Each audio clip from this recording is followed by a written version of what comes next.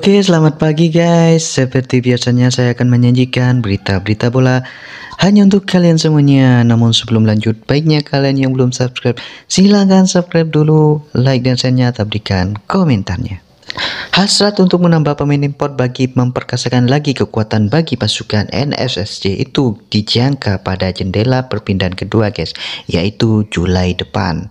Namun jika keuangan klub berkenaan bertambah baiklah hasrat itu bagaimanapun hanya boleh dilaksanakan. Kidivan sebagai pengendali berkata mengenai hal itu telah dibuat dengan pihak pengurusan namun keputusan akan tertakluk kepada keadaan keuangan klub guys. NSFC akan bermain dengan pasukan sedia ada, tapi jika keuangan klub bertambah baik, pasukan bakal mencari tambahan pemain import pada jendela perpindahan kedua nanti, yaitu pada Julai hasil perbintangan dengan pihak pengurusan klub.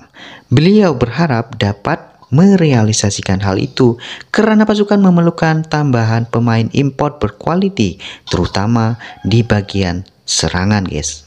Negeri Sembilan belum lama ini tewas kepada KDFC 1-2 dalam aksi Liga Super di Stadium Tunku Abdul Rahman Paroy Jumat lalu guys. Skuad Hobin Jang Hobin pada perlawanan itu hanya mempertaruhkan penyerang tempatan, membabitkan gandingan Muhammad Syaril Fikri, Mahali Jazuli dan Muhammad Zakwan Ada Abdul Razak selepas Kasangret tidak dapat diturunkan karena kurang cergas dan long line guys. Ia menafikan sengaja mencari alasan terhadap kelemahan pasukan itu sebaliknya. Ia adalah realiti sebenar karena negeri sembilan tidak mempunyai pemain penyerang terutama import yang mencukupi untuk bertindak sebagai penggempur guys Kirivan hanya menyadarkan harapan kepada Grande sebagai penyerang utama. Namun beliau berkata jika hanya seorang diri Grande tidak mencukupi untuk melaksanakan tugas dengan berkenaan dan masalah akan timbul apabila dia tidak dapat diturunkan guys.